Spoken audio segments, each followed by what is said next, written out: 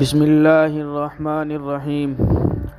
अगर वो इसे भी न माने तो फिर तलवार लेकर उससे लड़ना और उसके साथ नरमी न बरतना और जिस काम की ज़िम्मेदारी तुम्हें दी गई, उसमें अल्लाह से डरते रहना और इस बात से बचते रहना कि तुम्हें कहीं तुम्हारा नफ्स तुम्हें तकबर की तरफ़ न ले जाए, क्योंकि तकब्बुर तुम्हारी आखिरत ख़राब कर देगा।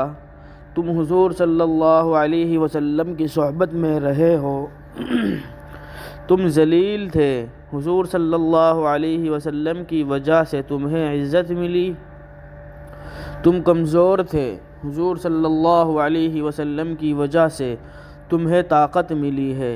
और अब तुम लोगों पर अमीर और उनके बादशाह बन गए हो, जो तुम्हें कहोगे उसे सुना जाएगा और जो तुम हुक्म दोगे उसे पूरा किया जाएगा। ये इमारत बहुत बड़ी नेमत है।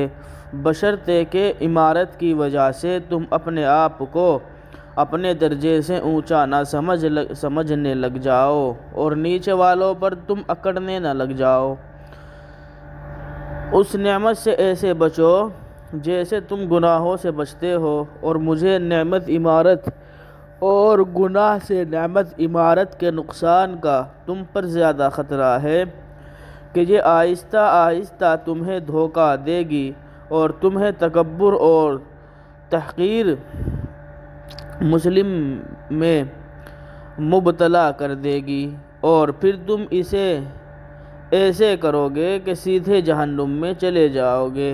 मैं तुम्हें और अपने आप को इमारत के उन नुकसानात से अल्लाह की पनाह में देता हूँ, यानी मुझे और तुम्हें अल्लाह इमारत के शर से बचा कर रखे।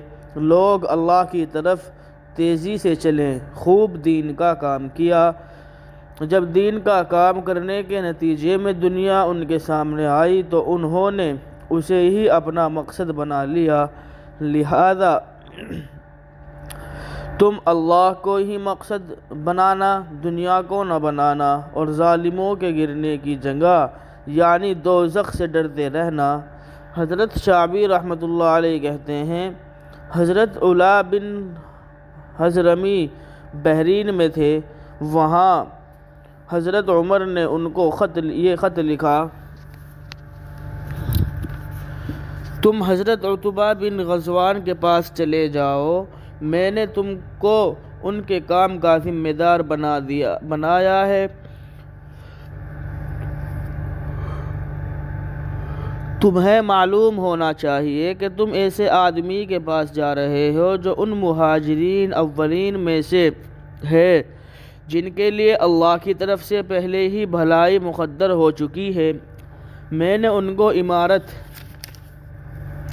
से इसलिए नहीं हटाया कि वो पाक दामन, कवि और सख्त लड़ाई लड़ने वाले नहीं थे, बल्कि ये तमाम खूबियाँ उनमें हैं। बल्कि मैंने उनको इसलिए हटाया है कि मेरे ख़्याल में तुम उस इलाके के मुसलमानों के लिए उनसे ज़्यादा मुफीद रहोगे। लिहाजा तुम उनका हक़ पहचानना तुमसे पहले मैंने एक आदमी को अमीर बनाया था। लेकिन वो वहाँ पहुँचने से पहले ही इंतकाल कर गया। अगर अल्लाह चाहेंगे तो तुम वहाँ के अमीर बन सकोगे और अल्लाह ये चाहें कि उतबा ही अमीर रहे और तुम्हें मौत आ जाए तो फिर ऐसा ही होगा। क्योंकि पैदा करना और हुक्म देना अल्लाह रब्बुल आलमीन ही के लिए है।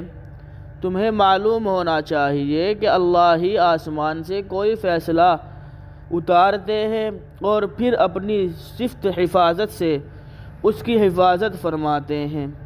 उसे ज़ाय नहीं होने देते, बल्कि वो फ़ैसला पूरा होकर रहता है।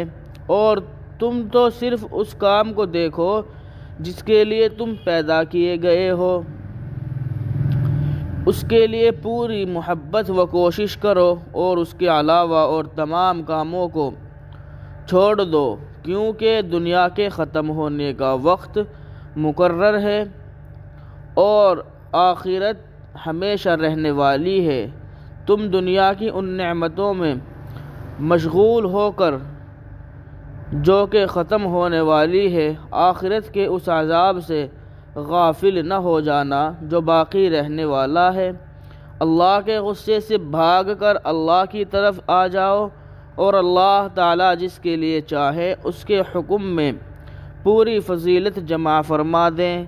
हम अल्लाह से अपने लिए और तुम्हारे लिए उसकी इतात करने पर मदद और उसके आदाब से नजात मांगते हैं।